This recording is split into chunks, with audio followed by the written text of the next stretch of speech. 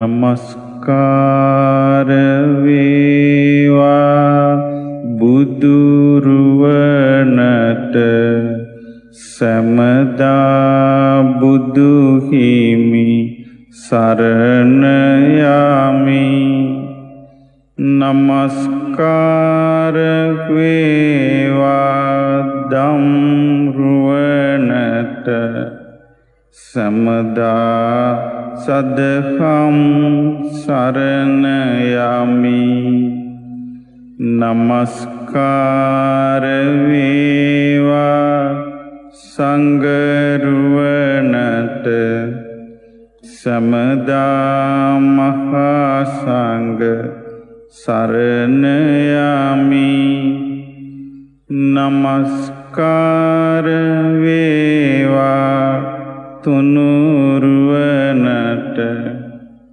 සමදා තිසරණ සරණයමි සාදු සාදු සාදු.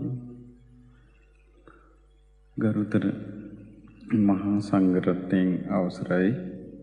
සදහවත් පින්වත්නි අපි කාලයක් තිස්සේ සරණ යනවා. ගෞතම බුදුරජාණන් වහන්සේව. උන්වහන්සේ වයස 29 දී රම්මි සුරම්මි සුබ කියන මාලිගා වල සැපසී වාසය කරන්න පුළුවන් ජීවිතය අත්හැරලා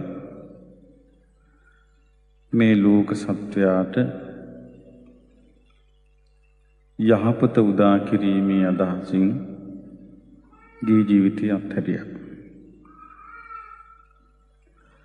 උන්වහන්සේගේ උත්සාහය අසාර්ථක වුණේ නෑ. උන්වහන්සේට පුළුවන් වුණා වයස 35 වෙද්දි 35 වෙනි වයසේදී මේ ලෝකේ පෙනෙන නොපෙනෙන සියලුම බලවේග ජය අරගෙන උන්වහන්සේට බලාපොරොත්තු වෙච්ච අවබෝධය ලබා ගන්න පුළුවන් වුණා. ඒ අවබෝධය තමයි චතුරාර්ය සත්‍ය කියලා උන්වහන්සේ පස්සේ කාලේ විස්තර කළේ. ඉතින් උන්වහන්සේට පුළුවන් වුණා සිතේ ඇතිවෙන රාග, ද්වේෂ, මෝහ, බය, තරහ, වෛර, ඊර්ෂ්‍යා මේ සෑම දෙයකින්ම නිදහස් වෙන්න පුළුවන් වුණා.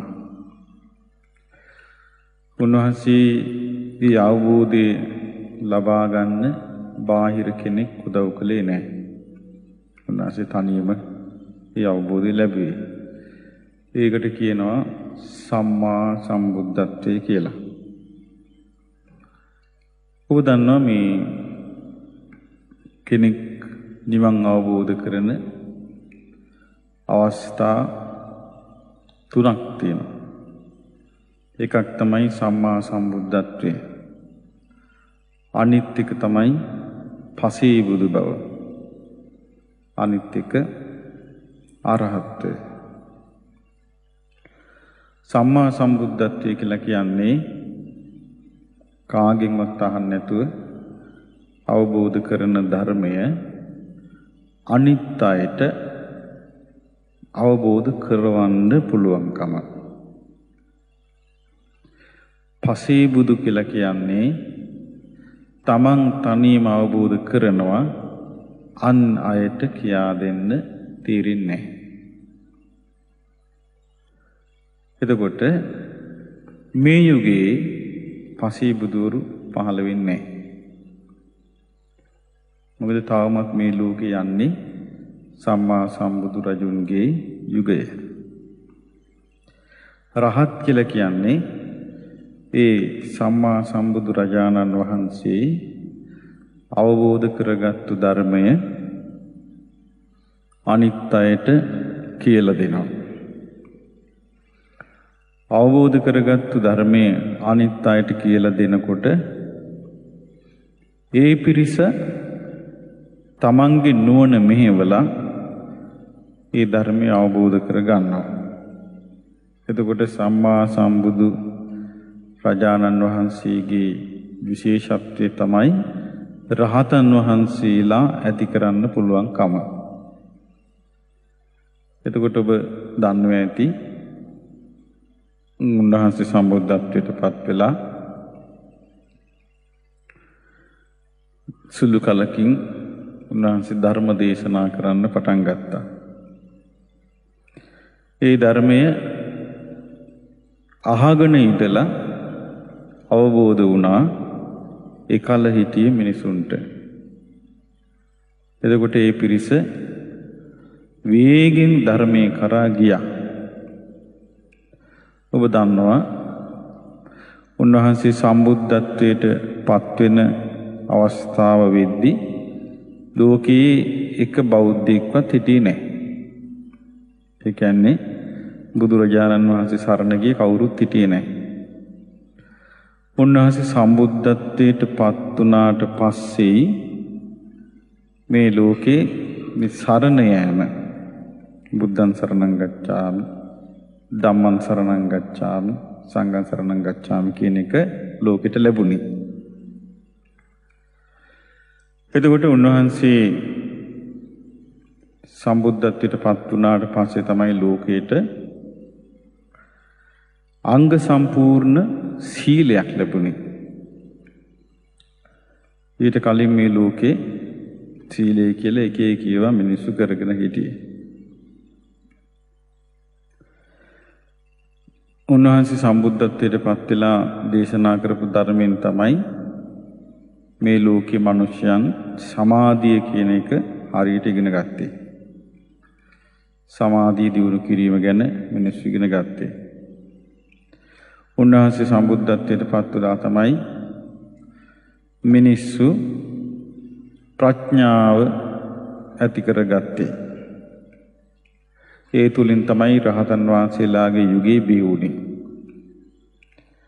පින්වත්නි, ඉතින් මේ බුදුරජාණන් වහන්සේ වයස 35 දී සම්බුද්ධත්වයට පත් වෙලා වයස 80 දී තමයි පිරිනවම් පෑවේ. එතකොට වයස 35 සිට 80 දක්වා කාලේ අවුරුදු 45යි. මේ අවුරුදු 45 උන්වහන්සේගේ ජීවිතයේ හොඳම කාලේ. ඒ කියන්නේ උන්වහන්සේ සම්බුදු කෙනෙක් හැටියට ලෝකේ ඇවිදගෙන ගියපු කාලේ.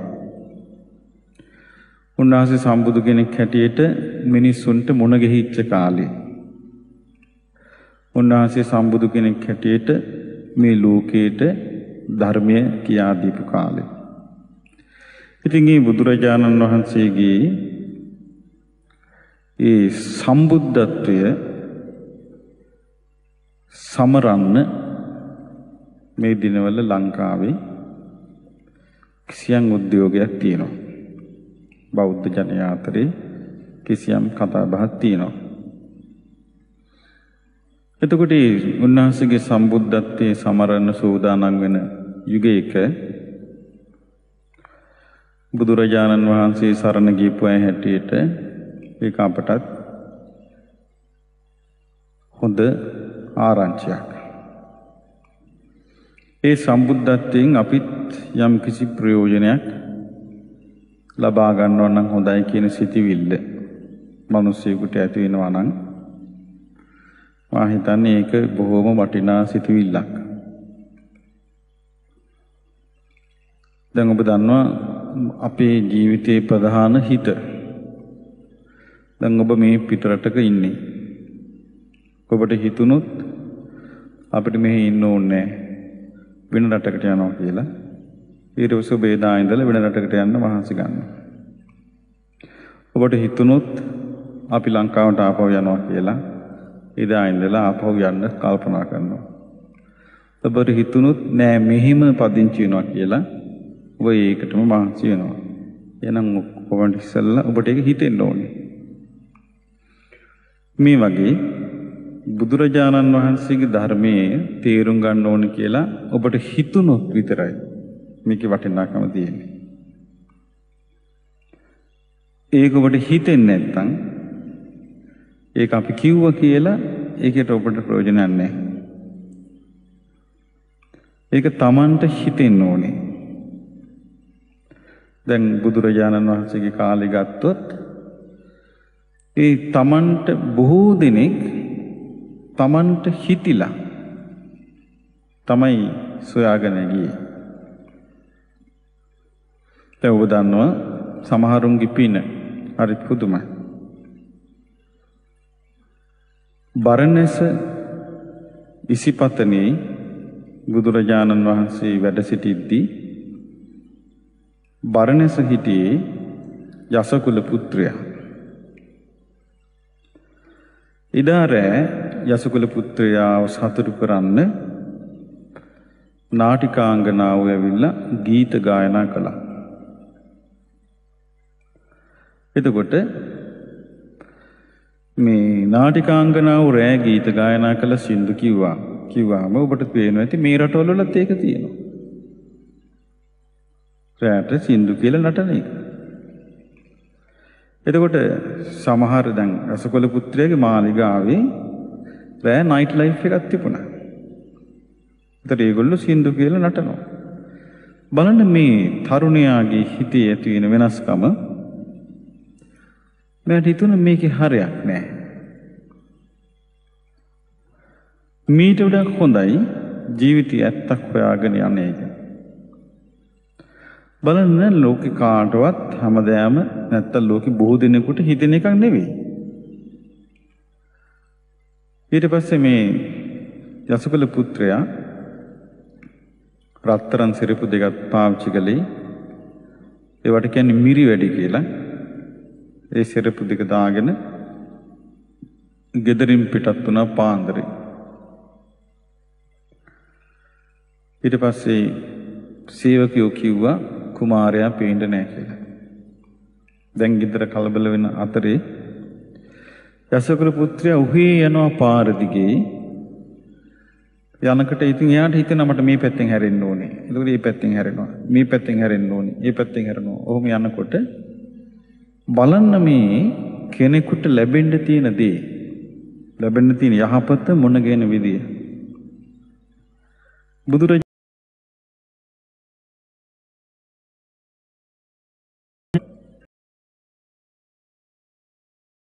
නිකම්ම උපද්දුතං වත භෝ මේ ජීවිතයේ මහා වදයක්. මේ ජීවිතයේ මහා වදයක් කියලා කියවෙනවා. අපට හිතෙන්නේ ජීවිතේ වදයක් වෙන්නේ ප්‍රස්වාවක් නැත්තම් පවුලි ප්‍රශ්න නම් ඊළඟට ලෙඩෙන් දුකින් නම් අසනීපයකින් නම් විභාගයක් කරගන්න බැරි නම් මේක තමයි අපිට වදේ හැටියට පේන්නේ. අර අධික සැපයක් ගතක අධික සැපයකින් ගත කළ අර තරුණයාට ජීවිතේ වදයක් වුණේ කොහොමද කියලා අපට තේරෙන්නේ බුදුරජාණන් වහන්සේ ඉදිරියෙන් යන ගමන් මෙයාට කියවුණා. මේක මහා වදයක් ජීවිතේ කියලා. එතකොට උන්වහන්සේ අර ගහයට වාඩි වෙලා ඇස්සැරලා බලලා මේ යසකොල පුත්‍රයා දිහා කියනවා යස මේ ජීවිතේ කිසිම වදයක් නැහැ මම මේ ජීවන ජීවිතේ. මං ගත කරන ජීවිතේ හරිම සැපයක් තියෙන කිව්වා. එතකොට යසකොල පුත්‍රයා කෙලින්ම හැරුණා බුදුරජාණන් වහන්සේගේ පැත්තට. වාඩි වුණා. උන්වහන්සේ ධර්මය කිව්වා අවබෝධ වුණා. එතකොට අපිට පේනවා මේ ධර්මයේ සොයාගෙන යෑම දුක් විඳින මිනිස්සු කළ එකක් නොවේ. ධර්මයේ සොයාගෙන යෑම බුද්ධිමත් අය කළ එකක්. නුවණ තියන අය කළ එකක්.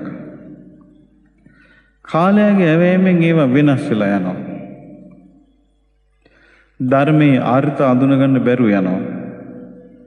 ඒ කියන පණිවිඩය තේරෙන්නේ නැතු යනවා. එතකොට හිතෙනවා අපිට දැම්ම අවශ්‍ය නැහැ. අපිට තව කල් තියෙනවා. එතකොට අපි කාලය කියලා හිතන්නේ ඔත්පල වීම. එහෙම නැත්නම් කාලය කියලා අපි හිතන්නේ අපිට විනෝද වෙන්න තියෙන කාලේ ඉවර වීම. ධර්මයට යන තියෙන කාලය කියලා. මේක තමයි ධර්මයේ අර්ථ පැටලීම. ධර්මයේ අර්ථ නොතීරියාම. බුදුරජාණන් වහන්සේ ධර්මය කියාගෙන ගියේ අවුරුදු 35ක තරුණ කෙනෙක් හැටියට ආරම්භයේදී. උන්වහන්සේ වටා ලක්ෂ සංඛ්‍යාත පිරිසක් එකතු වුණා. රජවරු, සිටුවරු ඉඳලා සෑම තරාතිරකම සෑම පැලැන්තියකම පිරිසක් උන්වහන්සේ වටා එකතු වුණා. ඒ එකතු වුණේ එක දෙයක් හොයාගෙන. උන්වහන්සේ අවබෝධ කරපු දේ මොකක්ද? ඒක අපට අවබෝධ කරගන්න බැරිද? ඔය අදහසින් විතර එකතු වුණේ. එතකොට ධර්මයක් සෙවීමේදී මේ යුගයේ ඒ කියන්නේ ලෝකයේ තියෙන අලුත් යුගයක් මේ. මේ යුගයේ මිනිස්සෙකුට හිතෙනවා නම් අපට බැරිද ඒ බුදුරජාණන් වහන්සේ අවබෝධ කරපු දේ තේරුම් ගන්න කියලා ඒක විශේෂ දෙයක් කලාතුරකින් මිනිසෙක් හොයාගෙන යන දෙයක්. එතකොට පින්වත්නි දැන් බුදුරජාණන් වහන්සේ එක්තරා අවස්ථාවක දේශනා කළා මහණෙනි මේ නියපොත්තට පස් චුට්ටක් අරගෙන උන්වහන්සේ ඒක අහනවා භික්ෂූන්ගෙන් මහණෙනි මේ නියපොත්තේ තියෙන පස් මේ පොඩ්ඩ මහ පොළොවේ පස් එක්ක බලද්දි වැඩි මොනවද කියලා ඇහුවා. වැඩි කෝකද කියලා ඇහුවා. එතකොට භික්ෂුන් වහන්සේලා පිළිතුරු දුන්නා භාග්‍යතුන් වහන්සේ මේ නියපොත්තේ පස් ඉතා ටිකයි මහ පොළොවේ පස් අති විශාලයි. මහණෙනි මං මේ කියන ධර්මය අවබෝධ කරගන්න අය මිනිය පොත්තට ගත්තු පස් ටික වගේ. මේක අවබෝධ නොකොට ඔහේ යන අය මහ පොළොව වගේ. මොකද්ද මේ ඔහේ යන අය කියලා කියන්නේ? ධර්මය අවබෝධ නොකොට යන අය කියලා කියන්නේ බුදුරජාණන් වහන්සේ දේශනා කරනවා අපි ඔක්කොම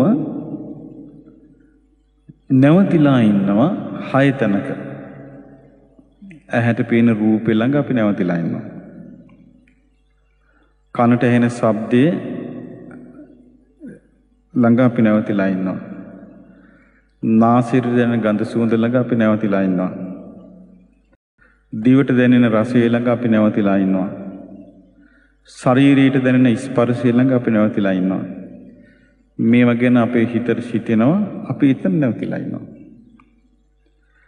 අපිට එතනින් එහා එකක් ඕනේ නැහැ. ඒක තමයි සාමාන්‍ය මනස. එතකොට මේ රූප ශබ්ද ගන්ධ රස ස්පර්ශ වලින් යුත් ලෝකේ සිර වී සිටින මිනිසයා මේක විනිවිද යන්න කල්පනා කළොත් ඒක විනිවිද යන්න නම් එයාට ඒකට වමනා උපකරණේ තියෙන්න ඕනේ. දැන් යමක් සිදුරු කරගෙන යන්න නිකම් බෑ. එයාට ඒකට වමනා උපකරණේ තියෙන්න ඕනේ. මේ ජීවිතයේ විනිවිද යන උපකරණේ තමයි ප්‍රඥාව. නෝනින් විමසීම. එතකොට මේ නෝනින් විමසීම කියන එක බුදුරජාණන් වහන්සේ තමයි මේ මිනිස්යාට දායාද කළේ.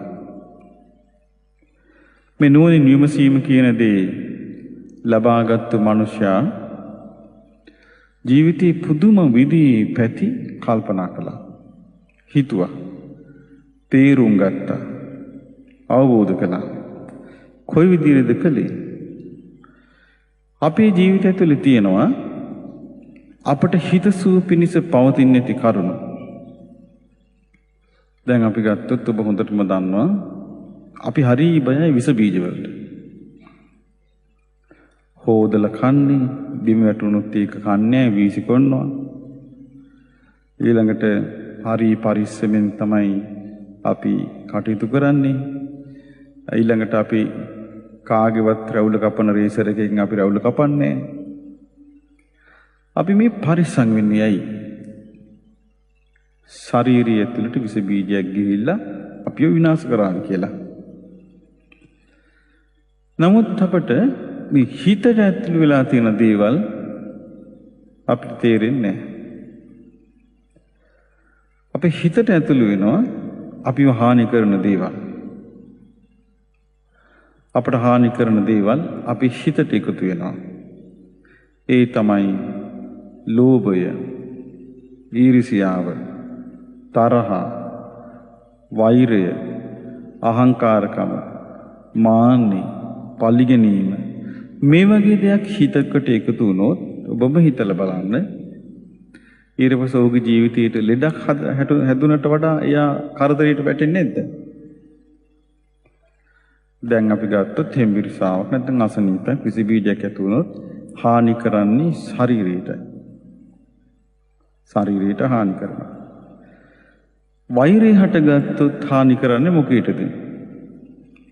දශීතක වෛරය හටගත්තොත් හානි කරන්නේ යාගේ ක්‍රියාවට. වෛරයක් හටගත්ත ගමන් එයා වෛර සහගත සිතින් වචන කතා කරනවා. එතකොට යාගේ මේ වචන නැමැති ක්‍රියාවට ඒ කියන්නේ වචී කර්මයට හානි කරනවා. ඊළඟට එයා පල්ලි ගන්න එක එකව කරනවා. එතකොට කාය කර්මයට හානි කරනවා. එයා මනසින් එක එකව කරනවා. එතකොට එයාගේ මනෝ කර්මයට හානි කරනවා. අනුරුද්ධ මහරහතන් වහන්සේගේ නංගි කෙනෙක් හිටියා. ඒ නංගිට කුෂ්ඨයක් සනීප වෙන්නේ බේත් කරනවා කරනවා සනීප වෙන්නේ දවසක් කණ්ඩුද්ද මහරහතන් වහන්සේ කල්පනා කළා අපි නංගිට සනීප වෙන්නේ නැත්තේ මොකද මේ?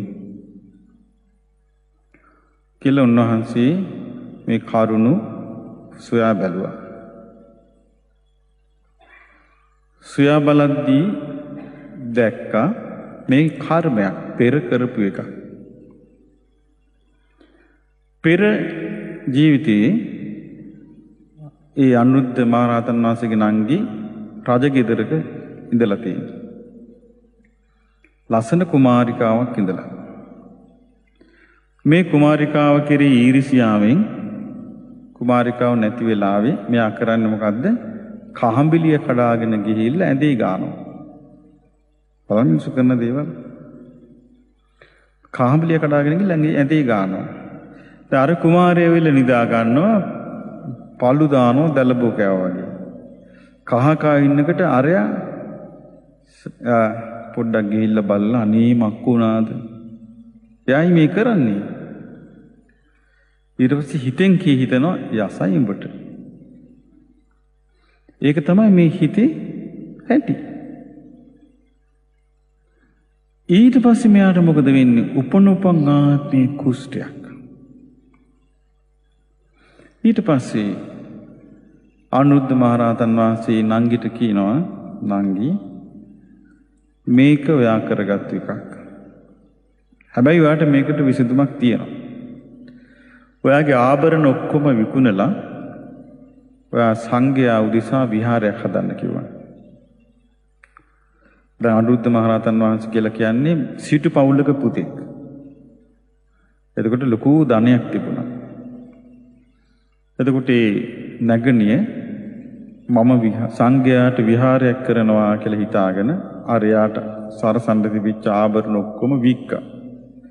විකුණපු දවසේ ඇගේ කැසිල්ල නැතුව ගියා. ඊට පස්සේ ඊටම ගත්තා. අරගෙන විහාරය හැදුවා.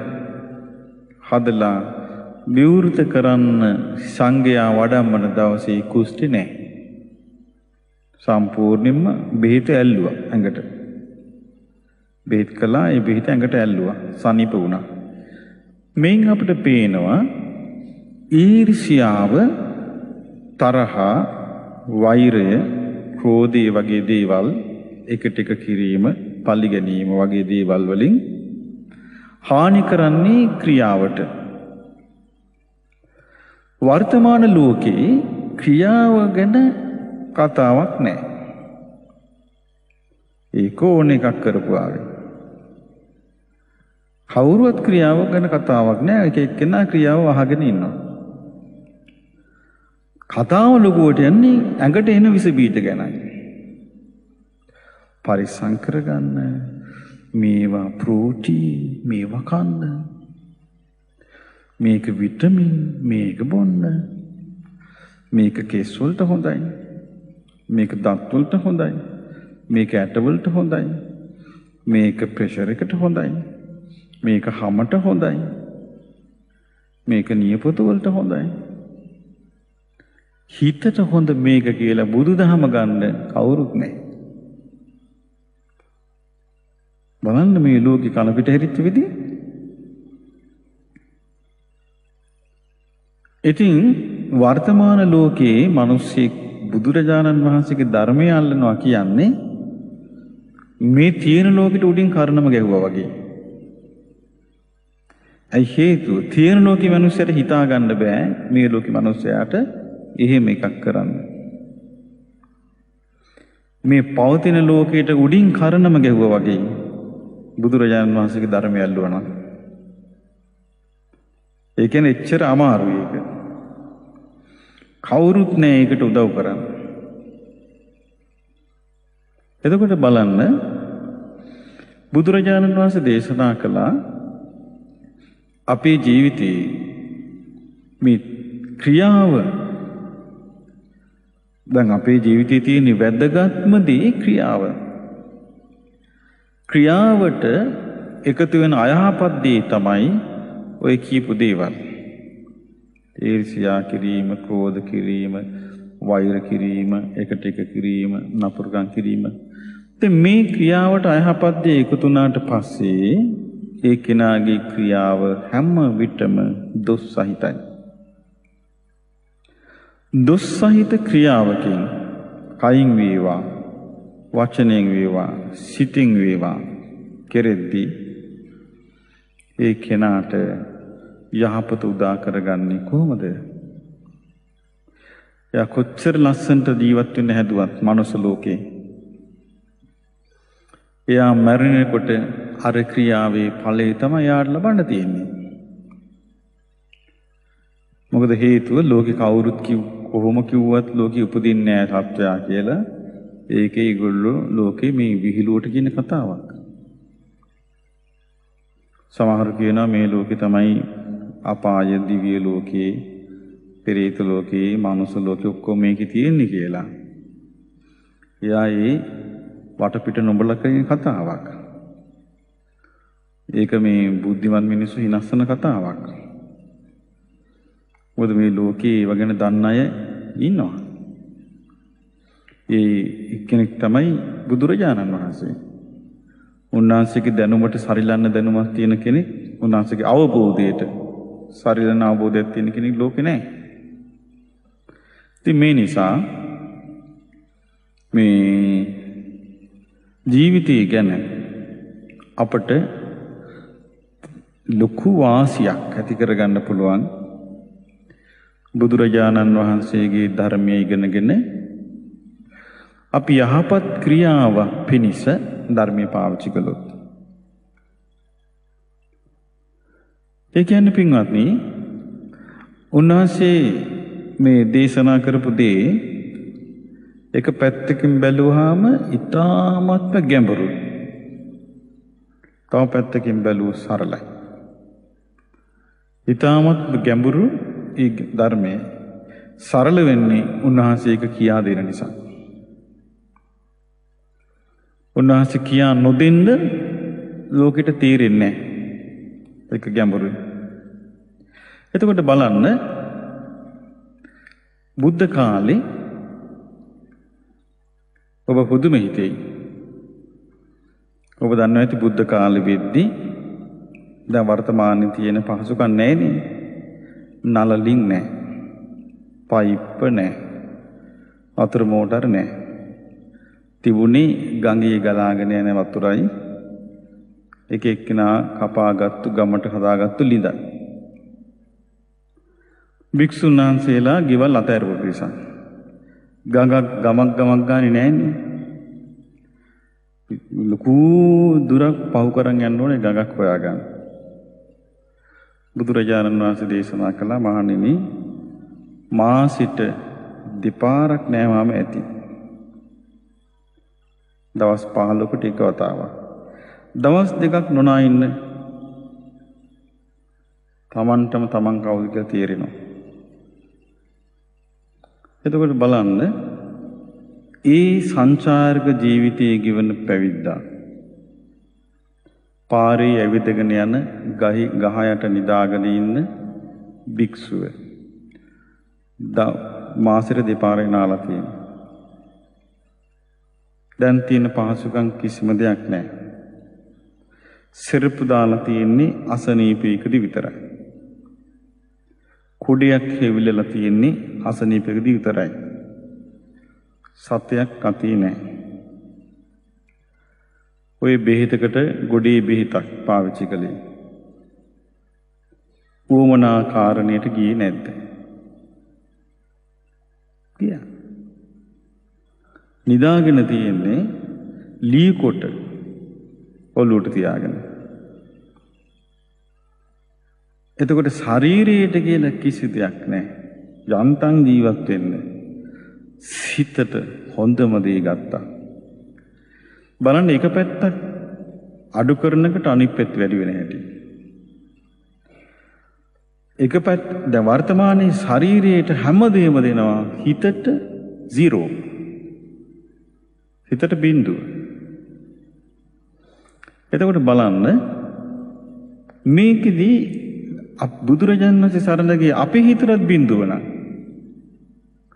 ආයි කාගේ හිතටද හම්බ වෙන්නේ ලකුණු මේ නිසා අපි හොඳට තේරුම් ගන්න ඕනේ අපි ගිහි පැවිදි අපි බුදුරජාණන් වහන්සේ සරණ ගියාට පස්සේ අපේ මතකයේ උක තියෙන්න ඕනේ. අපි බුදුරජාණන් වහන්සේ සරණ ගියා කියලා.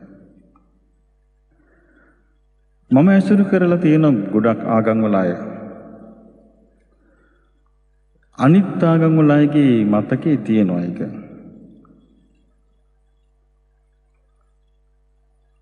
දැන් සාමාන්‍යයෙන් අපි ගත්තොත් එක දවසක් මම තූපාරාමේ වන්දනා කර කර ඉන්නකොට එක්තරා විදේශික පිරිසක් එක්කගෙන ගයිඩ් කෙනෙක් ආවා.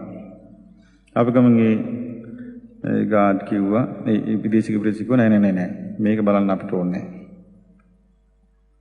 කියලා ගියා. එතකොට අපිට පේනවා ඒගොල්ලන්ට මතක් වෙනවා ඒගොල්ලෝ කවුද කියලා. දැන් අපි ගත්තොත් අපිට මතක් වෙන්නේ අපි කවුද කියලා. අපි බුදුරජාන් වහන්සේ සරණ ගිය ශ්‍රාවකයෝ කියලා අපිට මතක් වෙන්නේ නැහැ. එතකොට ඒක අපේ තියෙන විශාල හදාගත යුතු දෙයක්. මේ බුදුරජාණන් වහන්සේව මතක් වීම අපිට තියෙනවා නම් ගන්නවා යම් කිසි අභිමානයක්. ඒ අභිමානය හටගත්තට පස්සේ අපිට පුළුවන් ඒ තුලින් Tamanටත් යහපතක් උදා කරගන්න අන් අයටත් යහපතක් උදා කරලා දෙන්න. එතකොට පින්වත්නි දැන් බුදුරජාණන් වහන්සේගේ ශ්‍රාවකෙක් වෙනවා කියනකොට දැන් ඔබ දන්න ලොකු වෙනසක් තියෙනවා. හොඳට බලන්න බුද්ධ දේශනා කියවලා බුද්ධ කාලේ ශ්‍රාවකෙක් වෙන්නේ දේශනාව අවසානයේ. මන බුදුරජාණන් වහන්සේත් එක්ක කතාබස් කරන කෙනෙක්. එක දවසක එක බ්‍රාහ්මණයෙක් මේ කිරිබතක් හදලා හිතුව මම මේකේ පළවෙනි කොටස තව බ්‍රාහ්මණයෙකුට දෙන්න ඕනේ. එතකොට දැන් බුදුරජාන් වහන්සේ දැක්කා මෙයා ධර්මය අවබෝධ කරන කෙනෙක්. එයා එන පාරේ උන්වහන්සේ ගහක් යට වාඩි වෙලා ඔළුව වහගෙන හිටිය සිවුරින්. බලන්න උන්වහන්සේ කරපු දේ.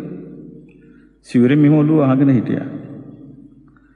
එතකොට මේ වයසක අවුරුදු 120 බ්‍රාහ්මණය අර කිරිබත් එකත් අරගෙන ඇවිල්ලා හිමින් හිමින් ඇවිල්ලා පාත් වෙලා බැලුවා කවුද මේ කියලා.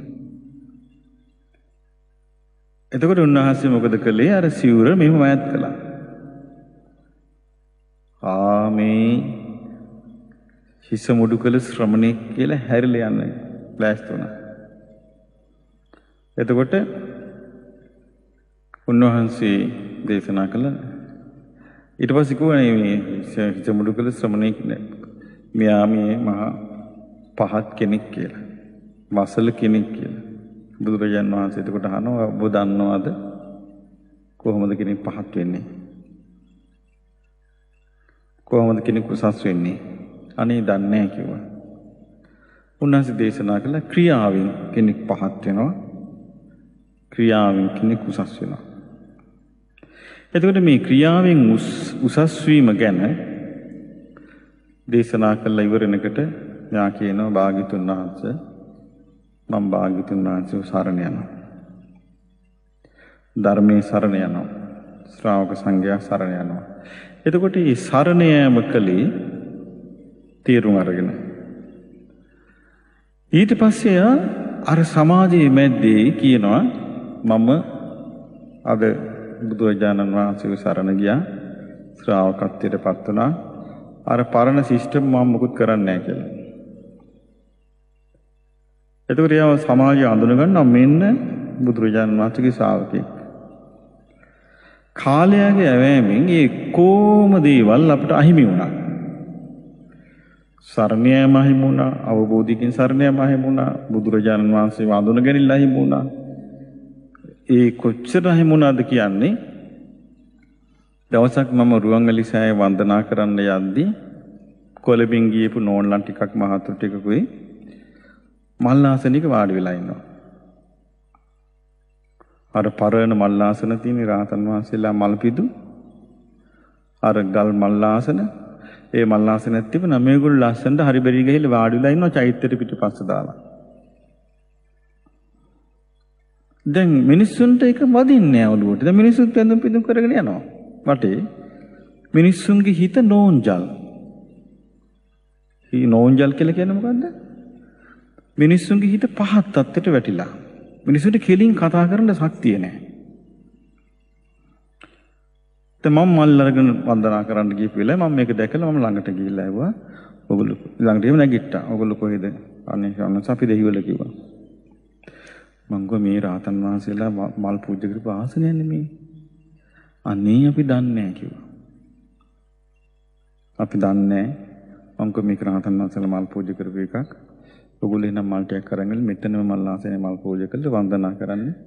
ඔගොල්ලෝ දන්නේ නැතුනේ මේක උනේ චෛත්‍යයට පිටපාන්න එපා. දකුණු පැත්තෙන් මේ වන්දනා කරන්න යන්න අර ක්ලොක් වයිස් විදිහට මේ ඒ වන්දනා කරන පැත්ත දන්නේ වන්දනා කරන විදිය දන්නේ කිසි දෙයක් දන්නේ නැති පිරිසක් අතරමං වෙන එක අහන්න දෙයක්ද? නොමග යන එක අහන්න දෙයක්ද? විවිධාකාර දේවල් වලට ගොදුරු වෙන එක අහන්න දෙයක්ද? ඒක තමයි විය යුතු දේ. ඒක වෙන්නේ නැත්තම් පුදුම වෙන්න ඕනේ එතකොට බලන්න ඒ අපේ ජීවිතවල අපට හැබැයි ඒකෙන් මම එකක් තේරුම් ගත්තේ වෙලාවේ ඒ අයගේ කිසි වැරැද්දක් නැහැ. එක් මොකද්ද සිද්ධ වුනේ? ඒගොල්ලන්ට ඒක තේරුනේ නැති එක. ඒගොල්ලෝ තේරිච්ච ගමන් ඒක හදාගත්තා. එහෙමනම් පින්වත්නි අපිට තියෙන හැකියාවක් මොකක්ද? අපිට යමක් තීරුම්ගෙන නිවැරදි වෙන්න පුළුවන් කම. මිනිස්සු හැටියට අපිට තියෙන හැකියාවක්. එතකොට අපි නිවැරදිකමේ මිම්ම ඇති කරගන්නේ බුදුරජාණන් වහන්සේගේ දේශනාවෙන්.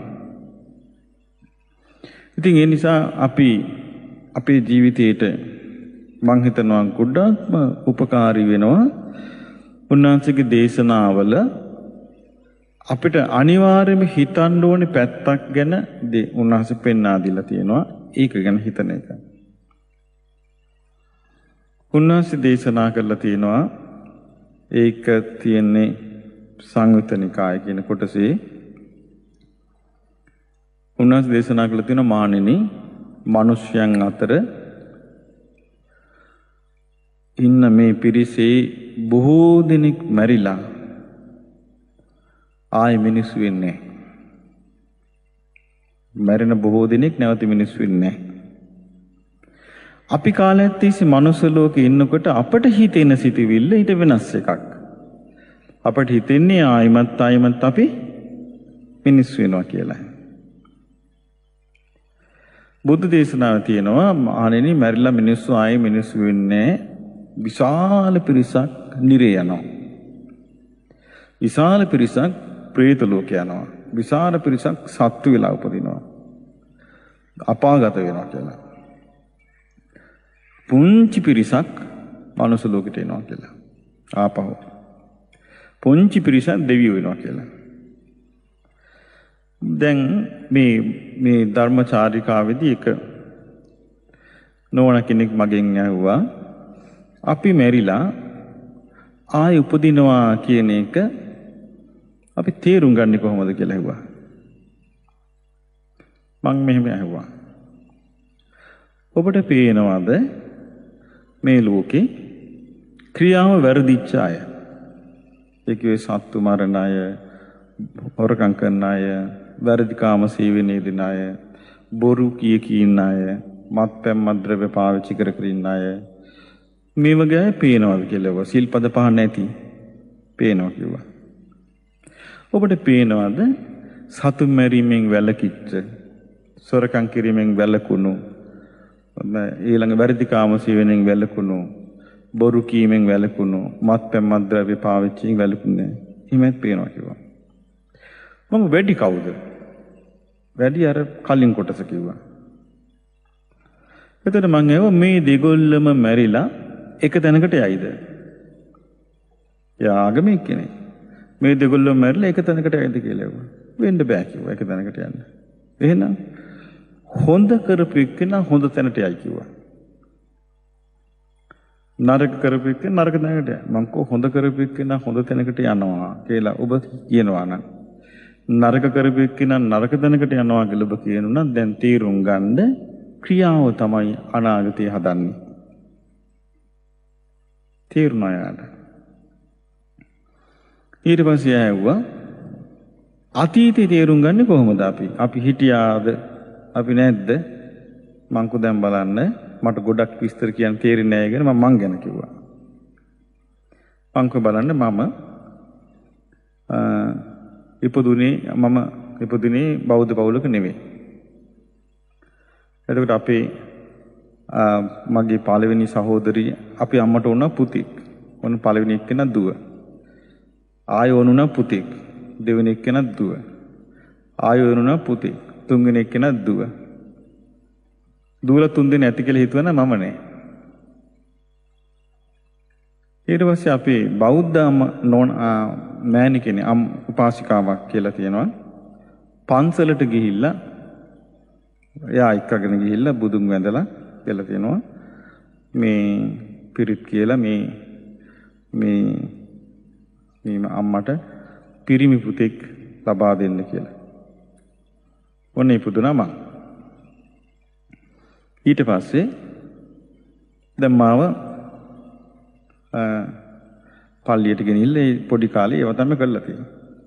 ඊට පස්සේ මට මාස 6 වෙනකොට අපේ අර ඒ උපාසිකාව අපේ ගෙදරට ඇවිල්ලා කියලා තියෙනවා අපේ අම්මට කියලා තියෙනවා මේ වයලට් අක්කා ආයෙ මට නම් මුකුත් කියන්න එපා මේ ළමයා ඔයගොල්ලෝ බාර වෙලා හම්බ වුණේ මේ ළමයට මොන හරි වුණත් අපි නම් දන්නේ නැහැ කියලා.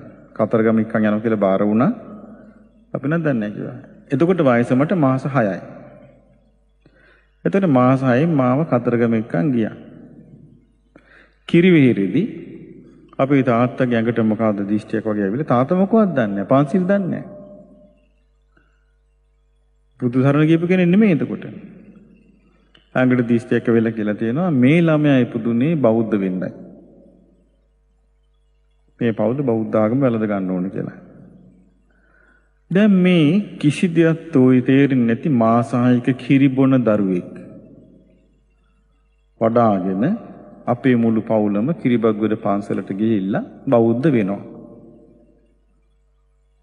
ඒ බෞද්ධ කරගෙන ඉපදිච්ච ළමයා දැන් මහාන වෙලා. දැන් ඒ ළමයා ධර්මයේ පතුරවනවා. මම එතකොට අර මේ සිද්ධිය කියලා මම හිතුවා මේකේ සම්බන්ධයක් නැද්ද? මේක මොකක් හරි සම්බන්ධයක් නැද්ද? සම්බන්ධයක් තියෙන්න ඕනේ කිව්වා. මම මේ සම්බන්ධය මොකද්ද? එයාට කියවුණා කර්මය කියලා. කො මේක තමයි පෙර කර්මය. එතකොට පෙර ජීවිතයක යමක් නැත්තම් කොහොමද මේ වගේ වෙනස් වීම වෙන්නේ? ඒක හම්බෙන් වෙනව වෙන්න පුළුවන්ද? ඉතින් මේ කරුණ කිව්වහම තේරුම් ගියා අපිට අතීත ජීවිතයේ බලපෑමක් මේ ජීවිතේට තියෙන බව. අතීත ජීවිතයට බලපෑමක් මේ ජීවිතයේ තියෙනවා. මේ ජීවිතයේ තියෙන දේවල් වල බලපෑම ඊළඟ ජීවිතයට යනවා. එහෙමනම් මේ මේ එක එක පුරුක පුරුක සම්බන්ධතාවයේ තියෙන සංසාරගත ජීවිතය තමයි අපිට තියෙන්නේ. අතීත ජීවිතයේ බලපෑම මේ ජීවිතේට තියෙනවා මේ ජීවිතේ බලපෑම ඊළඟ ජීවිතයට යනවා. ඒක නරක විදියට ගියොත් තමයි පාඩුව. ඇයි කවුරුත් නෑනේ. දැන් බලන්න හිතලා දැන් අපිට තියෙන ඝන දෙනෝ අපිට තියෙන උපාදි අපිට තියෙන තනතුරු අපිට තියෙන වටිනාකම් ඔක්කොම තියෙන මේ ශරීරයත් එක්කනේ. මේ ශරීරයට නමක් දාලා තියෙනවා. ඒ ශරීරයයි ඒ දාපු නමයි එක්කනේ අපි ඔක්කොම ගණිතනු කරන්නේ මේ. එතකොට අපි මැරෙනකොට ශරීරේ නැතු යනවනේ. ඊට පස්සේ ශරීරයට දාපු නම පාවිච්චි කරන්න අපිට බෑනේ. ඊට පස්සේ අපි අරගෙන යන්නේ ක්‍රියාවෙන් හැදිච්ච එක. ක්‍රියාවෙන් හැදිච්ච එක තමයි අරගෙන යන්නේ. ඔබ දන්නවද දන්නේ බුදුරජාණන් වහන්සේ දේශනා කළා අපේ මේ හැම ශරීරයකම තියෙනවා ශරීර තුනක්. පළවෙනි එක තමයි මේ භෞතික ශරීරය. ඊළඟට උන්වහන්සේ දේශනා කළා තව ශරීරයක් තියෙනවා මානසික. මානසින් ඇතිච්ච ශරීරයක් තියෙනවා. තව ශරීරයක් තියෙනවා අරූපී අරූපී දැන් මානසික ශරීරය කියලා කියන්නේ ඒක සමහර විට මානසික ශරීරයේ දැන් දේශනාවේ තියෙනවා මේක නිකුත් වෙන්න පුළුවන් ඇඟෙන්. ඔය දන්නේ නැති පසුගිය දවස්වල මේ එංගලන්තේ මහත්යෙකුට එහෙම වුණා. විනාඩි 23ක් යා නිරේ ගිහිල්ලාම අන්න YouTube එකේ තියෙනවා එයාගේ විස්තරය. එයා කියනවා දේශ හැමතැනම කී කියනවා එයා ඒක. එයා heart attack එකක් හැදිලා මැරුණා. සුදු මහත්තේ මැරිලා දැන් එයා ගිහිල්ලා එයා එකපාරට අමුතු තැනකට ගියා. එයා කියනවා යටත් යකඩ, වටිත් යකඩ, උඩත් යකඩ කියනවා. ගින්දර රස් තැනක් අමුතු මිනිස්සු ඇවිල්ලා මෙයාට වද දුන්නා. මෙයා අනුකම්පාව මේ මිනිස්සුන්ගෙන් බලාපොරොත්තු වුණා. අනුකම්පාව ලැබුණේ වතුර බින්දුවක් ලැබුණේ. වතුර පිපාසි කොච්චරද කියනවනම් වතුර බින්දුවක වටිනාකම කියන්න බෑ කියනවා. විනාඩි 23ක් යා නිරේ ගෙවලා කවුද කෙනෙක් එයාට එයාගේ ඇඟෙන් අත දාලා ආය උඩට ඇද්දා කියනවා. ඵලයන් ආපහු හිටපු තැනට ගිල කියපන් කියලා. දැන් එයා ඒක හැමතැනම කියාගෙන යනවා එංගලන්ත. එතකොට මේ මනෝකය දැන් මේ භෞතික කය තියෙන අපිට මේ මනෝකය සමහර අයගේ පිට වෙනවා. ඔබ දන්නේ නැතුව ඇති සමහර අවස්ථාවල යෝගීන්ට මේක වෙනවා. සමහර භාවනා කරන අයට මේ භාවනා කරලා භාවනා කරගෙන යනකොට සමහර අයට වෙලා තියෙනවා එයාගේ සිත ඒකාග්‍රතාවයට පත් වෙනකොට එයාට පුළුවන් මේ එයාගේ සිත මෙහෙවන්න. ඒ කියන්නේ මේ කයෙන් සිත යනවා. ඒ යනකොට මේ මෙන්ටල් බොඩි එක තමයි යන්නේ. එහෙම ගිහිල්ලා මට මට එහෙම කීප දෙනෙක් හම්බෙලා තියෙනවා. මානසික ශරීරයෙන් ඇවිදින අය. එතකොට දැන් අපි හදිසියවත් මැරුණොත් නිකුත් වෙන්නේ මොකද්ද? අපිට කියන්න බෑ මේ මානසික ශරීරෙම නිකුත් වෙනවා කියලා. හැබැයි ඒකත් වෙන්න පුළුවන්. ඒ වගේ මානසික ශරීරයන් නිකුත් වෙලා සමහර අයගේ ඔබ දැකලා ඇති සමහර ඡායාරූපවල තියෙනවා මේ ඒක මේ මේ අර මයිකල් ජැක්සන්ගේ ඡායාරූපයක් ආවනේ එහෙම මරින්නපත් වෙලානේ භූතයෙක් වෙලා කියලා. එතකොට බලන්න මේ සමහරගේ ඡායාව ඒ හිටපු රූපෙම එනවා. ඒක තේරුම යාගේ මනෝකය ඒ විදිහටම ගිහිල්ලා තියෙන අපිට. හැබැයි ඒකට අපි කියන්නේ භූත ආත්ම කියලා. ඒක දියුණු වෙන එක නෙමෙයි. දැන් බුද්ධ දැන් අපිට බුදුරජාණන් වහන්සේ දේශනා කළා මේ මේ මේ ශරීර තුනම සකස් වෙවි යනවා. හැබැයි අරහත්ත්වයටපත් වෙනවා කියන්නේ මේ ශරීර තුනම නැවත හැදෙන්නේ නැහැ. අරහත්ත්වයට පත් වෙනකන් හැමෝගෙම ශරීර තුන එක එක විදිහට හැදෙනවා. ඡායා රූප අරගෙන තියෙනවා සමහර බලල්ලු බල්ලු ඒ විදිහටම ඉන්න භූත වෙලා. ඒ කියන්නේ යාගේ මනෝ ශරීරයෙන් යා ඉන්නවා. එතකොට අපිට ඒකත් තේරෙනවා පොඩි දරුවෙක් වෙලා උපන්න එක්කෙනා ලොකු වෙද්දි ඒ ප්‍රමාණයට යාගේ මනෝමය ශරීරය හැදෙනවා. ලොකු වෙද්දි ප්‍රමාණයට මනෝමය ශරීරය හැදෙනවා. එයාගේ රූපමය අරූපී ශරීරයත් හැදෙනවා. එතකොට යෝගීන් අපි ගත්තොත් ධර්මයේ හැසිරෙන පින් කරන එක්කෙනා පින් කරන කෙනාගේ ජීවිතය තුළ අර මනෝමය ශරීරයේ තමයි සකස් වෙන්නේ ක්‍රියාව හේතුවෙන්. අපි ගත්තොත් කෙනෙක් ඉන්නවා කියලා එච්චර ලස්සන නෑ කල්ලුයි කෙට්ටුයි ඉන්නවා කියමු. නමුත් එයා සිල්වත්ව ගුණවත්ව බණ භාවනා කරමින් මෛත්‍රියෙන් යුක්තව එයා ධර්මයේ හැසිරෙනවා නම් එයාගේ අර මනෝ ශරීරයේ ලස්සන වෙනවා ඇතුලින්. එයා දන්නේ. එතකොට යා මෙහෙන් චුත වෙනකොටම ලස්සන කෙනෙක් දෙවියන් අතරට යනවා. ඒ දෙවියෝ අහනවා ඒ දෙවියෝ සතුටින් පිළිගන්නවා යාව. දැන් එක තැනක බුදුරජාණන් වහන්සේ ළඟට ආපු සක්දිවිඳු කියනවා භාග්‍යතුන් වහන්සේ අලුතෙන් එන දෙවිවරු හරි ලස්සනයි කිව්වා. ඒකී මනුස්ස ලෝකෙ හිටපු ගොඩාක් අය උපන්නේ කොහෙද? දිව්‍ය ලෝකේ. බුදුරජාණන් වහන්සේගේ කාලේ තෙරුවන් සරණ ගිහපු අය. අලුතෙන් එන දෙවිවරු හරි ලස්සනයි කිව්වා. ඒකට හේතුව තමයි කිව්වා මේ දෙවිවරු ධර්මයේ හැසිරීලා කිව්වා මනුස්ස ලෝකෙදී. ඉතින් ඔබ දන්නවා ඇති දැන් මේ මේ රටවල් වල බොහෝ දෙනෙකුට ඒ අවස්ථාව නැහැ. මොකද හේතුව ඒක කතා කරන්නේ නැති නිසා. එතකොට අපිට මේ මේ මනුස්ස ජීවිතේ අපිට පුළුවන් නම් යම්කිසි දෙයක් අපේ ජීවිත වලට කරගන්න ඒක යහපත් දෙයක් ක්‍රියාව හරිගස්සගෙන මෛත්‍රිය පුරුදු කළා දානමාන දීලා සිල්වත් වෙලා ඊළඟට විශේෂයෙන්ම කරුණා මෛත්‍රිය දිනු කරලා ඊර්ෂ්‍යා කරන්නේ නැතුව, පල්ලි ගන්න නැතුව, ආතට පුළුවන් විදිහට අන් අයටත් උදව් කරගෙන මේ ලැබිච්ච ජීවිතය දිනු කරනවා නම් ඒක හරි පුදුමයි. දවසක් මල්ලිකා බුදුරජාණන් වහන්සේගෙන් අහනවා භාග්‍යතුන් වහන්සේ කෙනෙක් ලස්සන වෙන්නේ ඇයි කියලා අහුවා.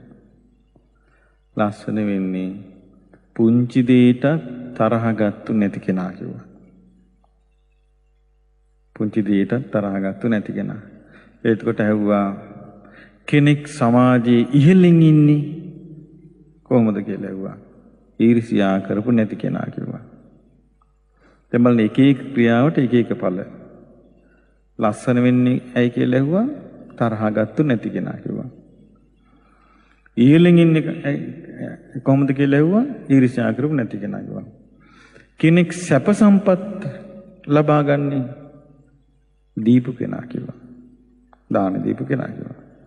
ඊට පස්සේ ඇහුවා කෙනෙක් ස්වාමීනි කැත වෙන්නේ තරහගත්තු කෙනා කිව්වා. කෙනෙකුට මේ කිසි තැනක් නැත්තේ සමාජයේ ඉරිසියා කරපු කෙනා කිව්වා. කෙනෙක් දුප්පත් දීපු නැති කෙනා. ඒතර මල්ලිකා කියනවා භාග්‍යතුන් වහන්සේ මම මේක දෙකක් කරලා තියෙනවා එකක් කරලා නැහැ කිව්වා. කිව්වා භාග්‍යතුන් වහන්සේ මම දීලා තියෙනවා. ඒ නිසා මං අද කුසල රජුරුවන්ගේ බිසෝ වෙලා විශාල ධනයකට හිමිකම් කියනවා. භාග්‍යතුන් වහන්සේ මම ඊර්ෂ්‍යා කරලා නැහැ. ඒ නිසා මං අද අග බිසව. හැබැයි භාග්‍යතුන් වහන්සේ මං නිතර කිපිච්ච කෙනෙක් වෙන්න ඕනේ. ඒකයි මං කල්ලු. මල්ලිකා කියනවා. ඊට පස්සේ කිව්වා භාග්‍යතුන් වහන්සේ ඒ අඩුව මම හදා ගන්නවා. මම ආයෙ නම් තරහ ගන්නෑ කිව්වා. එතකොට බලන්න මේ හේතු නිසා පලහට ගන්න න්‍යාය දැනගත්තාම කොච්චර Tamanට Tamanව හසුරුව ගන්න කොච්චර පාවිච්චි කරන්න පුළුවන්ද? ඉතින් මේ නිසා දැන් බුදුරජාණන් වහන්සේගෙන් ඇහුවා ප්‍රඥාව ලබන්නේ කොහොමද? උන්වහන්සේ පිළිතුරු දුන්නා සද්ධානෝ අරහතන් ධම්මං නිබ්බාන පත්තිය. නිවනට පමුණුවන රහතුන්ගේ ධර්මය විශ්වාස කරගෙන සුසුසා ලබති පඤ්ඤා අප්පමත්තෝ විචක්කනා කැප වෙලා නුවණින් විමසද්දී ධර්ම ශ්‍රවණේක කැප වෙලා ධර්මයේ ශ්‍රවණය කරමින් නුවණින් විමසද්දී ප්‍රඥාව වැඩෙනවා කිව්වා. එතකොට එදත් ප්‍රඥාව වැඩෙන්නේ මේ විදිහට අදත් ප්‍රඥාව වැඩෙන්නේ මේ විදිහට. ප්‍රඥාව කියලා කියන්නේ මේ කුසල් ලකුසල් හඳුනාගෙන අකුසල් ප්‍රහාණය කරන්න පුළුවන්කම කුසල් වඩන්න පුළුවන්කම. එතකොට මේවා අද මිනිස්යාට අත්පත් කරගන්න යම් කිසි ප්‍රමා සම්පූර්ණයෙන්ම අත්පත් කරගන්න බැරි වෙන්න පුළුවන්.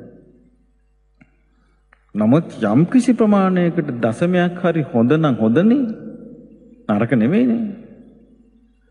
වටිනා දේ දශමයේ හරි ලැබුණා නම් හොඳ එකක් ඒක. නරක දේවල් ගෝණියක් හම්බුනත් වැඩක් නැහැ. මේ නිසා පින්වත්නි මේ ක්‍රියාවක ඇති විශේෂත්වය වෙන් කළා දකින්න අපට උපකාරී වෙන්නේ බුදුරජාණන් වහන්සේගේ ධර්මයයි.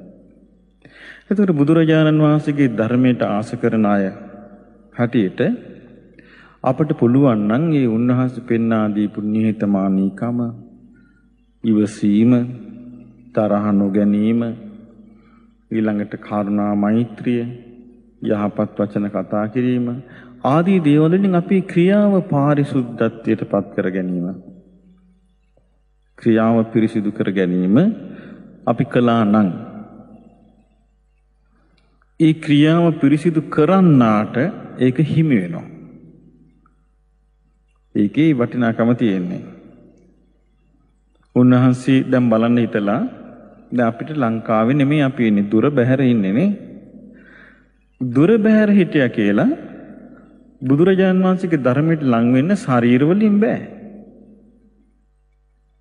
උන්වහන්සේගේ ධර්මයට ලං වෙන්න තියෙන්නේ ක්‍රියාවෙන්. බුදුරජාණන් වහන්සේ දේශනා කරනවා මහණෙනි හරි ලස්සනයි උන්වහන්සේගේ ප්‍රකාශ.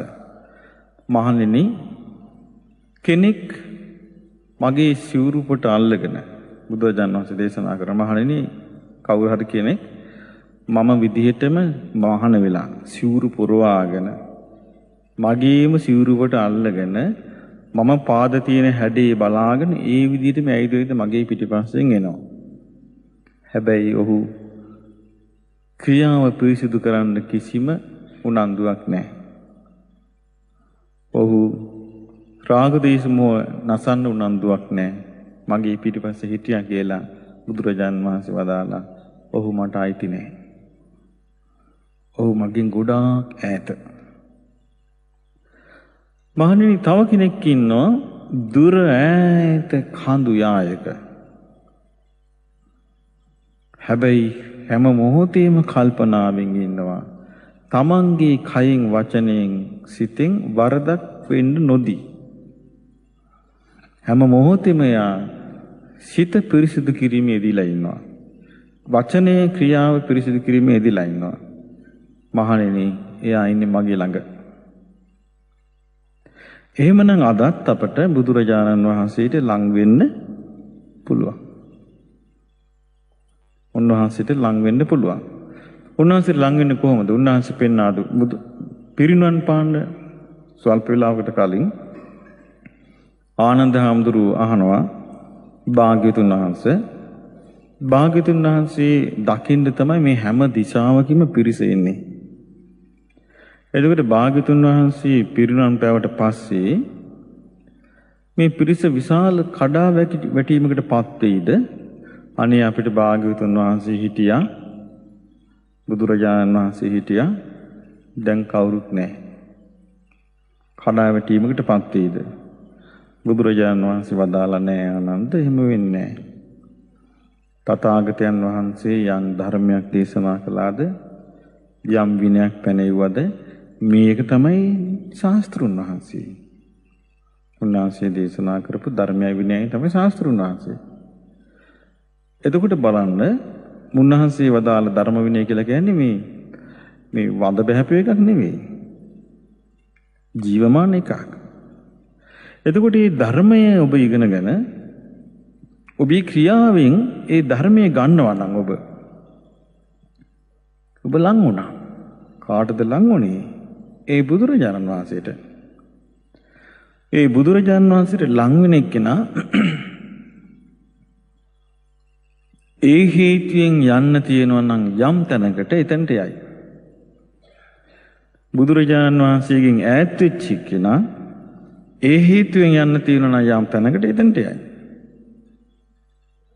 මේ නිසා අපි මේක තේරුම් ගත්තා මේ විදිහට අපි දන්නවා සමහර ඥානවන් කල්පනා කරන්න පුළුවන් අය යම් කිසි ආකාරයට හිතනවා මේ ගැන.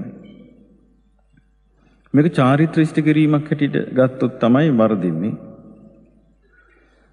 චාරිත්‍ර ඉෂ්ට කිරීමක් හැටියට ගන්න නැතුව තමන්ගේ ජීවිතේ බුදුරජාන් වහන්සේට ලං වෙන මාර්ගයක් හොයන කෙනෙක් හැටියට ඒක ගත්තොත් ඊට පස්සේ යාට හැමතිස්සෙම තමන්ගේ ජීවිතේ හදා ගන්න පුළුවන්. ඇයි තමන්ට තමන්ව පේනවනේ. දැන් අපිට ලෝකෙටම තමන්ව හැංගුවත් තමන්ට හංගන්න බෑනේ. තමන්ට ලෝකෙටම තමන්ව හංගන්න පුළුවන්. හැබැයි තමාට තමාව හංගන්න බෑ. තමාට තමාව හංගන්න බැරි නම් තමා තමාව පිරිසිදු කරගන්න ඕනේ. හදාගන්න ඕනේ. යහපත ඇති කරගන්න ඕනේ. ඒක තමයි අපි එක එක්කෙනා තම තමා වෙනුවෙන් කළ යුතු යුතුයකම. ඒ නිසා පින්වත්නි මේ දුර බැහැර රටක ඉඳලා ඔබට මේ ගෞතම බුදුරජාණන් වහන්සේගේ ධර්මයෙන් ස්වල්පයක් අද මේ අහන්න ලැබුණා. ඒ තමයි අපට මේ ශරීරයේ නෙමෙයි වැදගත්ම සාධකයේ ශරීරයේ මුල් කරගෙන වචනේ මුල් කරගෙන හිත මුල් කරගෙන කරන ක්‍රියාව. දැන් අපි දන්නවා මේ රටවල මේ ක්‍රියාව තුට්ටු දෙයකටවත් ගණන් ගන්න නැහැ. බුදුරජාන් වහන්සේ දේශනා කළා ඒකමයි අපි ගණන් ගත යුත්තේ. ඒ නිසා උන්වහන්සේ වදාළ දී බලලා වදාළ විදිහේ බලලා තමන් තමන්ව හදාගන්න හරි වටිනා උපදේශයක් මම ඔබට කියන්නම්. එක ආච්චි කෙනෙක් හිටියා. බුද්ධ කාලේ. මේ ආච්චි එක්තරා තාපසයෙකුට උපස්ථාන කළා. දැන් මේ තාපසයා මේ ආච්චිව රවට්ටගෙන හිටියා. මේ ආච්චිට ඉන්නවා ළමයි. බුදුරජාණන් වහන්සේ ජේතවනාරාමේ වැඩින්න කාලේ. දැන් මිනිස්සු යනවා උන්වහන්සේව බලන්න. ධර්මය අහන්න. එන ගමන් ආච්චිලා ගේ ගාව නැවතිලා අහනවා ඔයා ගියේ නැද්ද? දෙවුරන් වෙහෙරට ගියේ නැද්ද? භාග්‍යතුන් වහන්සේ මොන ගෙවුන්නේ නැද්ද කියලා අහනවා. ආනකට මේ ආච්චිට ආසාවක් ඇති වුණා. ඊට පස්සේ මේ ආච්චිට තනියම තීරණයක් ගන්න ශක්තියක් නැහැ. අතන්ට බැඳිලා. ආච්චිගේ පන්සලට බැඳිලා. ඊට පස්සේ ආච්චි ගියා පන්සලට. ගිහිල්ලා තාපසතුමා හම්බ වුණා. හම්බ වෙලා ඇහුවා මම ආසයි ශ්‍රමණ ගෞතමයන් වහන්සේව දකින්න යන්න කමක් නැද්ද? පිස්සුද කියලා ඇහුවා. මතුරනවා කිව්වා යන යන අයට. මතුරලා කිව්වා ළඟට අද්දලා ගන්නේ. ආච්චි බිම් බලාගෙන හිටියා. ඔන්න හිත නැතුව ගියා. ආයිමත් ආච්චිගෙන් අහනවා. මිනිස්සු යන්නේද ඔයා? ආච්චිට මේක කියන්නත් බෑ. දෙවෙනි වතාවෙත් ඇහුවා ඒත් බෑ කිව්වා. තුන්වෙනි වතාවේ ආච්චි පුතාට කියනවා පුතේ මං දානි පොඩ්ඩක් හදන්නම්. ඔයා ගිහිල්ලා බුදුරජාන් වහන්සේට ආරාධනා කරන්න අපේ ගෙදරට වඩින්න කියලා. දැන් මේ කොළුවට යන්නත් බෑ තනියම. කොළු පැංචා කෙලීම ගියා අර පන්සලට. ගිහිල්ලා අර තාපසින්නාසයට කිව්වා අපේ අම්මා කිව්වා මේ දේතුරාමට ගිහිල්ලා බුදුරජාන් වහන්සේට ආරාධනා කරන්න. හා හා පුතේ ඕක කරන්න එපා කිව්වා. උඹලගේ අම්මා හරි මෝඩි කිව්වා. නෑ නෑ අම්මා ගහයි මට මේක නොකොළොත්. එහෙනම් මෙහෙම කරන්න කිව්වා. ගිහිල්ලා දුර පාරක් කියන්න කිව්වා වෙලාවට දාන දෙන්න බැරි වෙන්නේ. ඉතින් මේ ළමයාත් ගිහිල්ලා දුර පාරක් කිව්වා. එතකොට පහු ඒ දානේ දවසේ දැන් තාපසින්නාංශයට දැන් ඊරිසියාව. හොරේන් පිටත් වුණා. පිටත් වෙලා ගිහිල්ලා පොඩි ගෙදරනේ පිටිපස්සේ කුස්සියෙන් රිංගුවා. කාටවත් හොයාගන්න බැරි වෙන. කාමරය ඇතුළට ගිහිල්ලා හැංගිලා ඉන්නවා දැන්. දැන් ඔන්න බුදුරජාණන් වහන්සේ වැඩියා. උන්වහන්සේට පාරවරක් දන්න බෑනේ. උන්වහන්සේ වැඩියා. දැන් ආච්චි දානි පූජා කළා. බුදුරජාන් වහන්සේ ධර්මයේ කියන්න පටන් ගත්ත විතරයි. ආච්චිට හරි සතුටුයි. සතුටින් සාදුකාර දුන්නාම අර කාමරියස් හැංගිලා හිටපු තාපසින්නාන්සිට පුදුම තරහක් ඇති වුණා. දත්කුරු කාගෙන දාඩි දාගෙන පැන්න එළියට.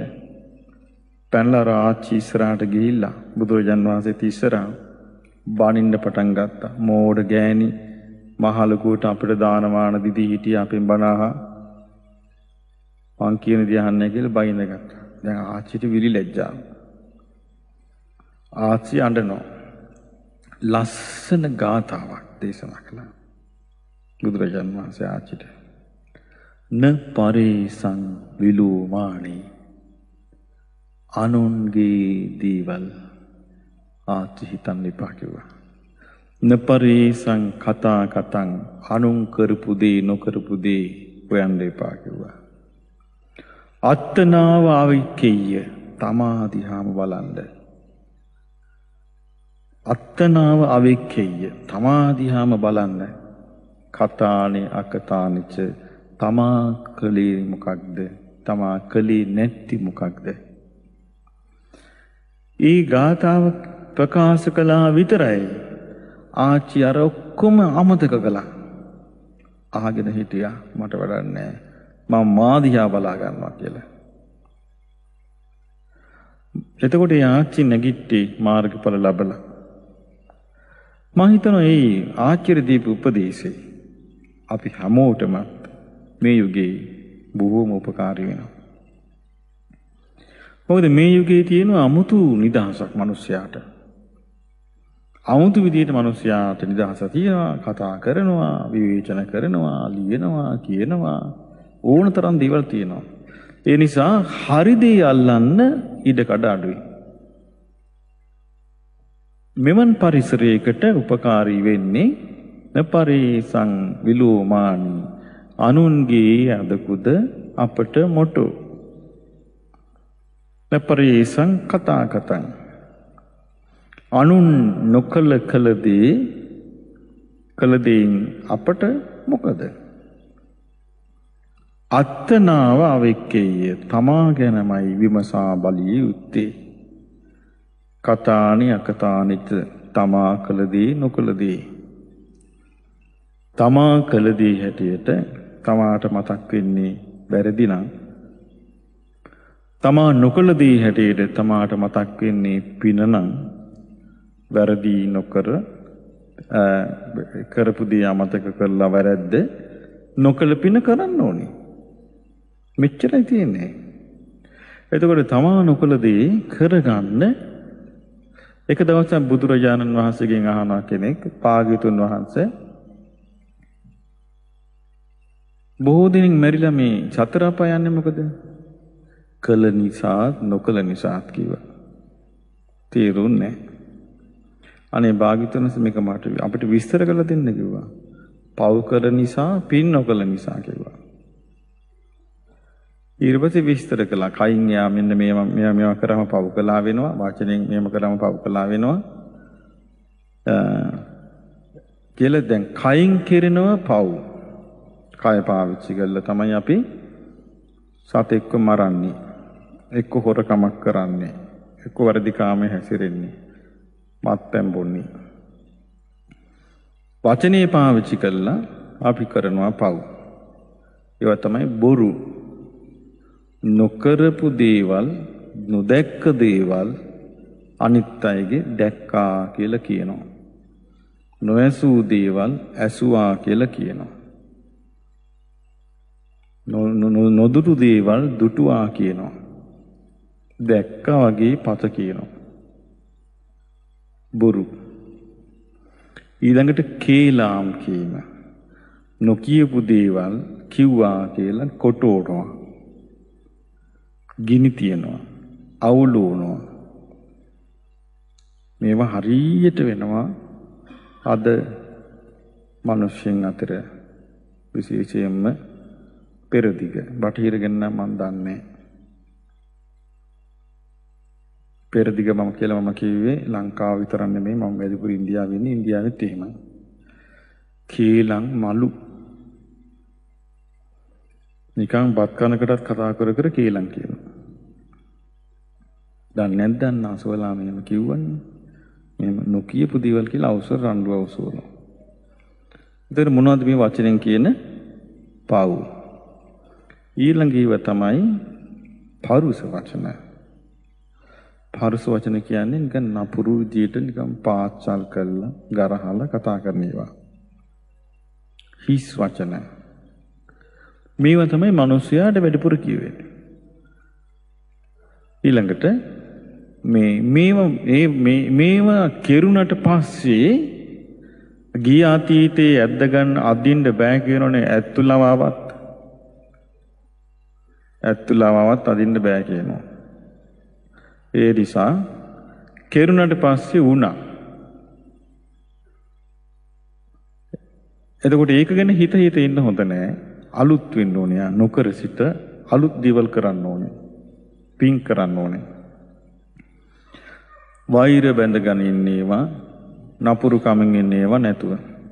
එතකොට මේ පින් කිරීම කුසල් කිරීම කියලා කියන්නේ සතුන් මැරීම නොකිරීම දැන් ඔය ඔබ දන්නවා ඇති මේ කොහේද මේ? දැන් ලංකාවේ නම් ගොඩක් ඔය ගස් වලට බෙහෙත් ගන්න ඒවට ගොඩක්කට තේරිලා බෞද්ධයගේ ලুকু උනන්දුවක් තියෙනවා.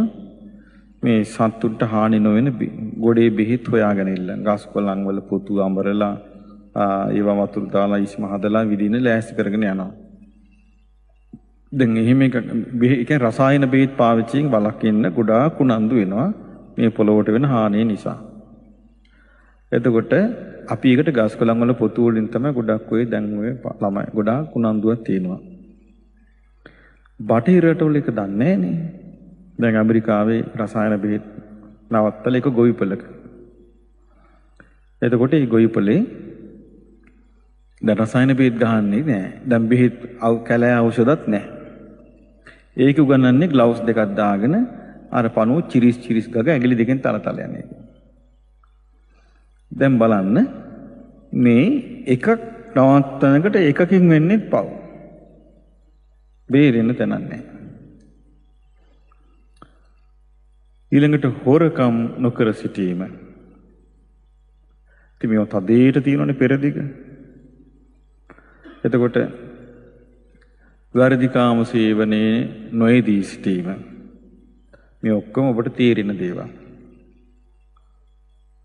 ඊළඟට මේ විදිහට මත්පැන් මත්ද්‍රව්‍ය පාවිච්චි නොකර සිටීම. විශේෂයෙන්ම මේ වගේ රටවල් වල ආවට පස්සේ ධර්මයේ දන්නේ නැති වුණාම ඔබ පෙළවෙනවා. ඔබ පෙළඹෙනවා බොන්න. ඒක අපි බොරු කියන්නේ මොකටද නේ? මේ බොන්න පෙළඹෙනවා. සමහර. එතකොට ඔබම තීරුම් අරගෙන මේක සුදුසු නෑ.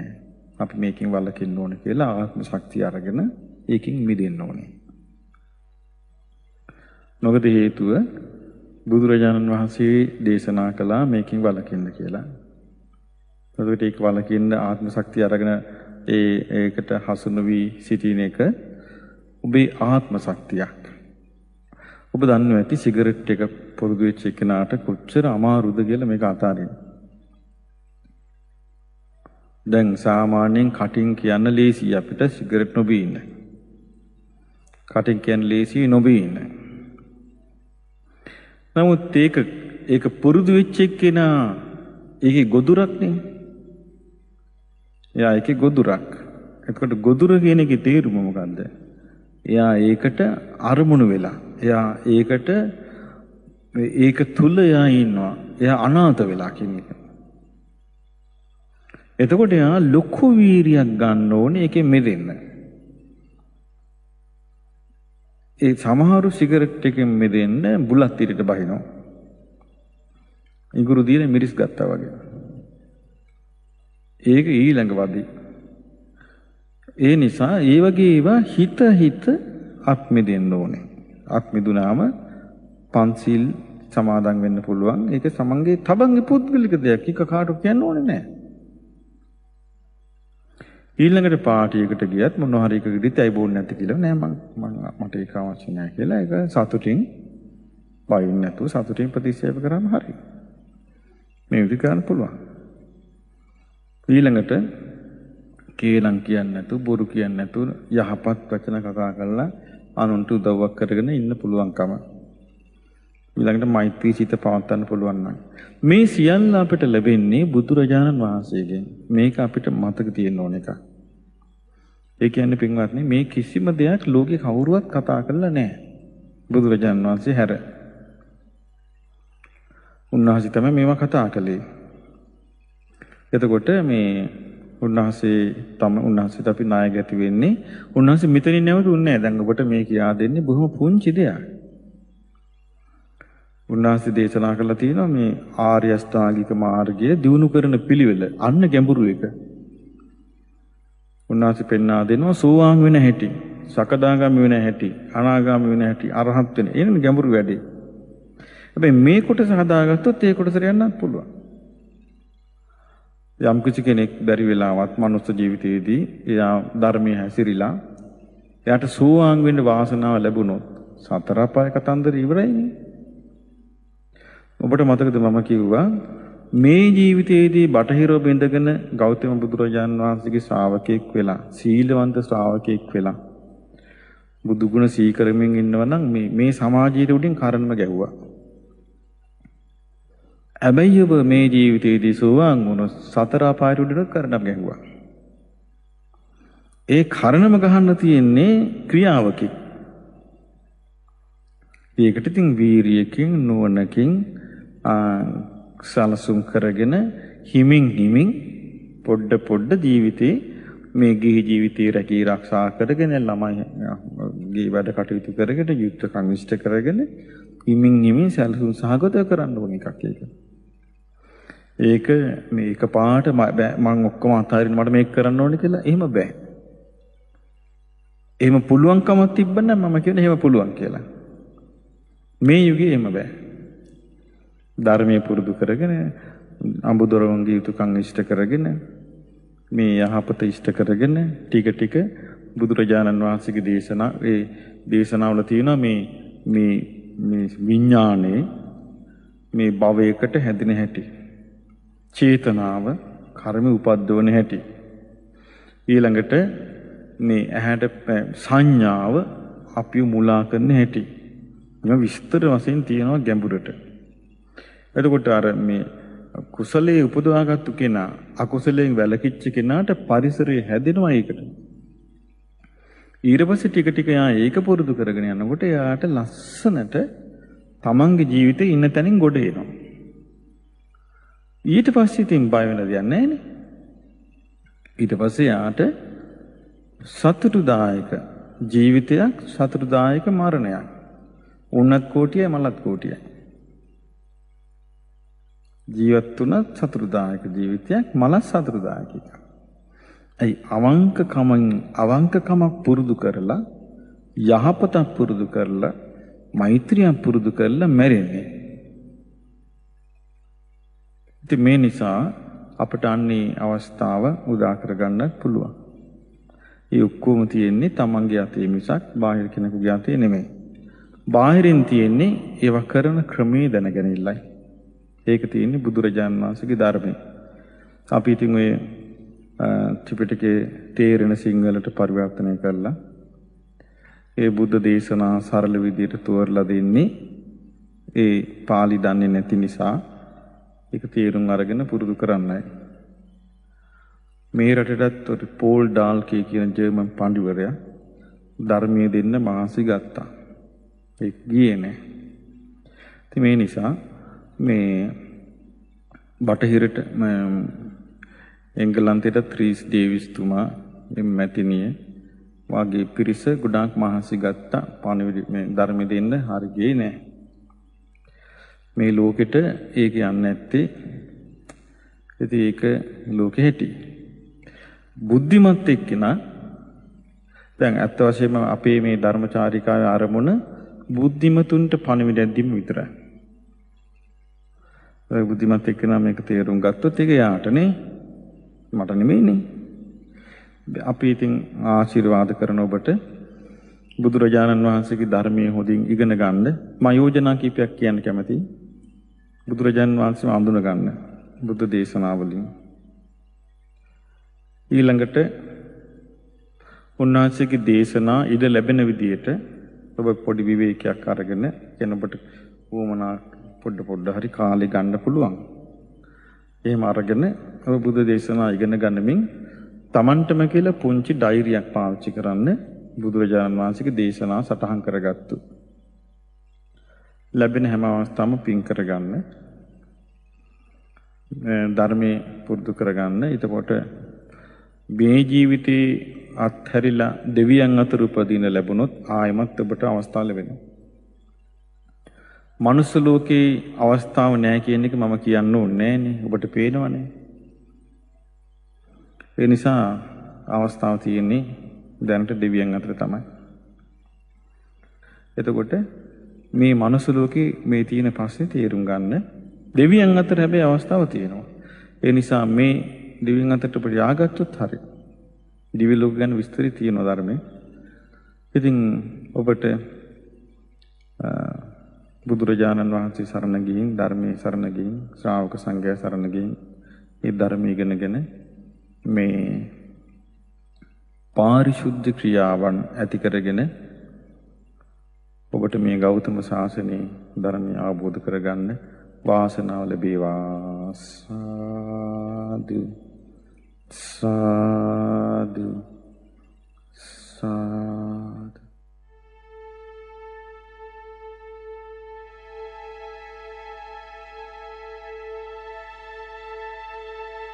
දම් සිහ